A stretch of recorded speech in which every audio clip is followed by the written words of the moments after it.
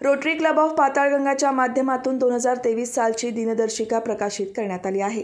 या दिनदर्शिकेचे माजी खासदार लोकनेते रामशेठ ठाकूर यांच्या हस्ते शनिवारी प्रकाशन झाले.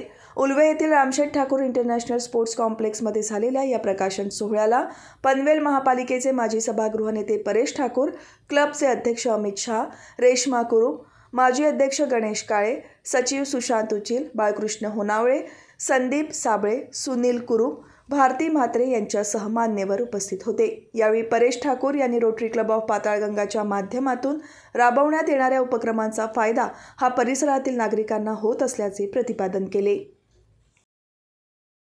खरोखरच आमचा चांगला असा उपक्रम त्यांचा हा आहे.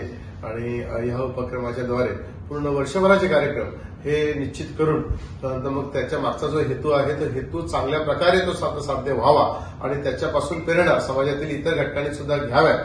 अशा प्रकारचे संत यांचे कार्यक्रम आहेत. खरोखरच संत चांगल्या प्रकारचे आपले कार्यक्रम आहेत. ह्या कार्यक्रमाच्या निमित्तानं कार्यक्रमांच्यासाठी या कॅलेंडर वितरणाच्या निमित्ताने आपल्याला मी शुभेच्छा देतो. पनवेल आणि नवी मुंबईच्या ताज्या घडामोडींसाठी मल्हार टीव्ही न्यूज सबस्क्राईब करा आणि बेल आयकॉन दाबून रहा अपडेट.